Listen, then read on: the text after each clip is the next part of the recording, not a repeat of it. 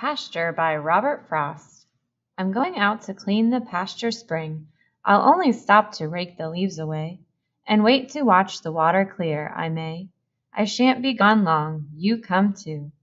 I'm going out to fetch a little calf That's standing by the mother, it's so young, It totters when she licks it with her tongue, I shan't be gone long, you come too.